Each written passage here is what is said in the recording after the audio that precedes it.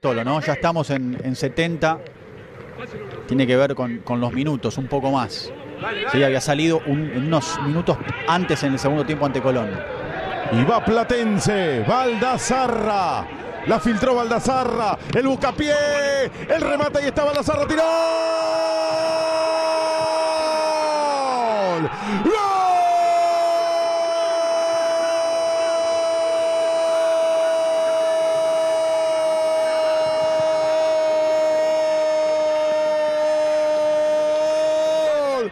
Platense, Franco Franco Baldazarra, el busca Platense 1, Central Córdoba de Santiago del Estero 0, él la empezó y él la terminó.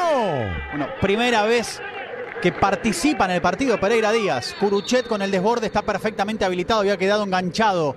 Del otro lado Bettini va a obligar ahí en el primer palo Pereira Díaz y después una regla que prácticamente no se rompe. El mediocampista que pisa el área es el menos controlable, es el más difícil de anular por una defensa.